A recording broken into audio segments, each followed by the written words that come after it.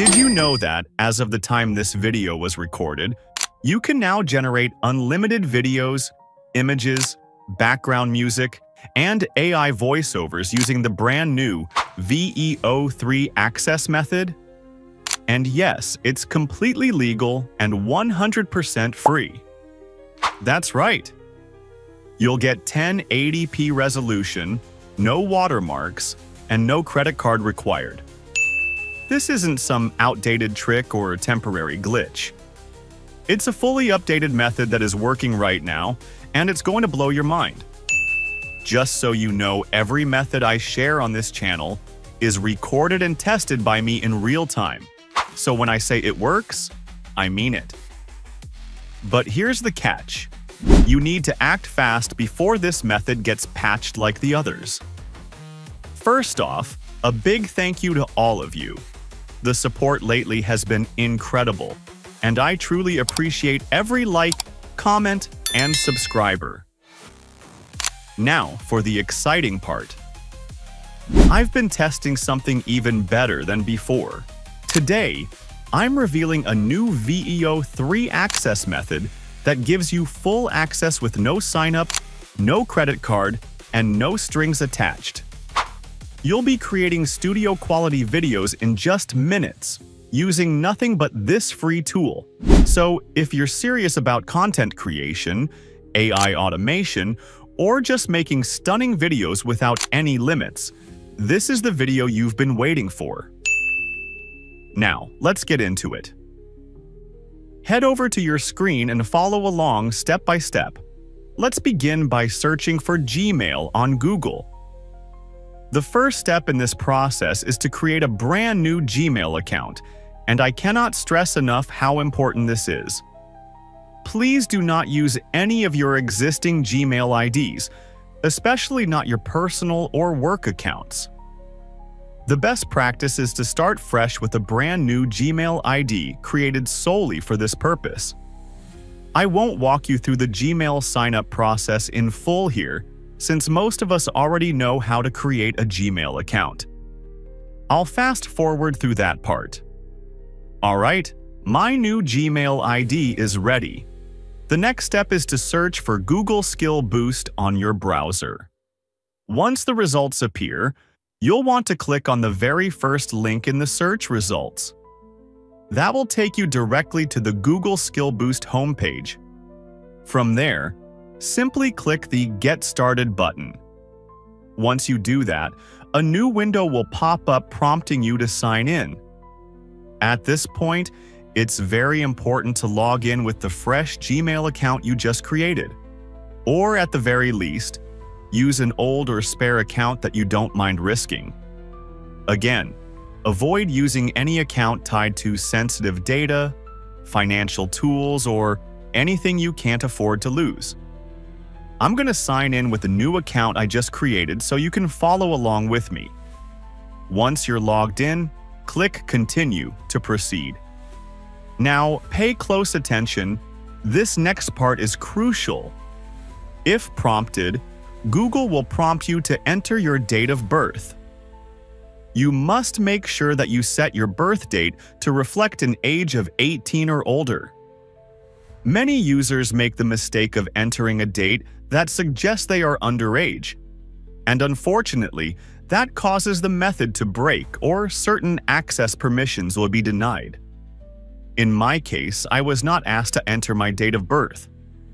But if you are, just click I accept and proceed. Now a small pop-up might appear. Feel free to close that out. We're now ready for the next step. Now that we're inside the Google Skill Boost dashboard, the next step is to click on Explore Catalog from the main window. This will bring up a new page with a search bar at the top. In that search bar, type Generative AI and hit Enter. After a few moments, you'll see a list of available labs related to generative AI. What you're looking for is the 45-minute lab, which typically appears as the third option on the list. Go ahead and click on that one. Once you do, a new window will open showing the lab overview. Here, you'll see a description of what the lab covers, along with some basic instructions.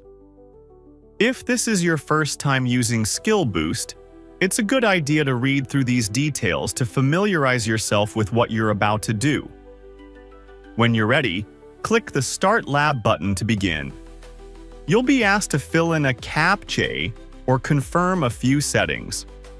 Once that's completed, you'll see a new button appear labeled Open Google Cloud Console. Now here comes an important step. Do not open the console in your regular browser tab. Instead, right-click the button and choose to open it in a new incognito window. This helps prevent any issues with cookies, cache, or prior sessions interfering with the process. As the incognito window opens, you may be prompted with a message. Simply click I understand to continue. Next, you'll see a page asking you to select a country. This is a critical step. You must choose United States from the drop-down menu. After selecting the United States, check the box agreeing to the terms of service and then click Agree and Continue to move forward. Now we're inside the Google Cloud Console. On the left-hand sidebar, you'll see a variety of services and options. Scroll down until you find Vertex AI and click on it. A sub-menu will appear, and from there, you need to click on Media Studio. Inside Media Studio, you'll find a suite of AI-powered tools that are incredibly powerful and surprisingly easy to use.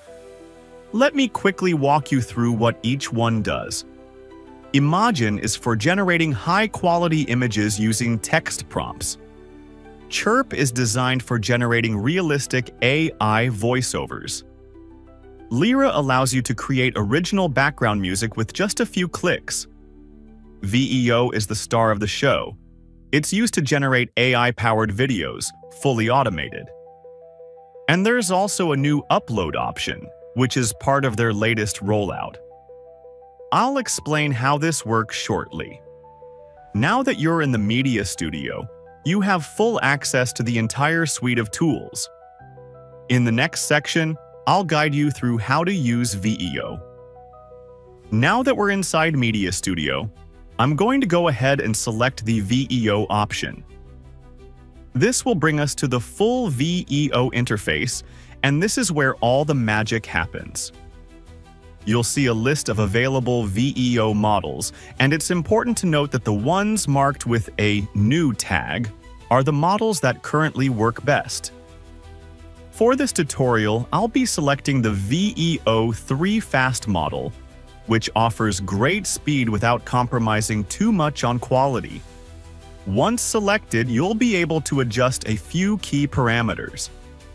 The first is the number of results, which determines how many video variations you'll get per prompt.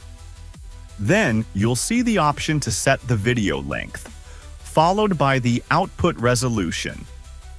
I'm going to set this to 1080p for the highest quality, now pay close attention to this next part. There's an option called Generate Audio, and it's absolutely essential that you leave this enabled. Without it, your video will come out silent, and you don't want that. There are also some advanced settings available for those who want more control over the output, but for now, I'll keep those as default. It's time to enter the prompt. Once that's done, you'll notice that video generation has officially begun. It's still processing, which is expected. Video rendering does take a bit more time compared to audio or image generation. Now let's check our video. And yes, it is ready. Let me play it so you can see the result.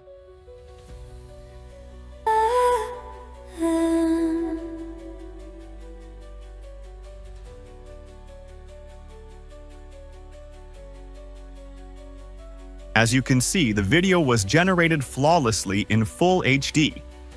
Most importantly, there's no VEO watermark, which is something you would usually see if you were using the Flow platform or limited access tools.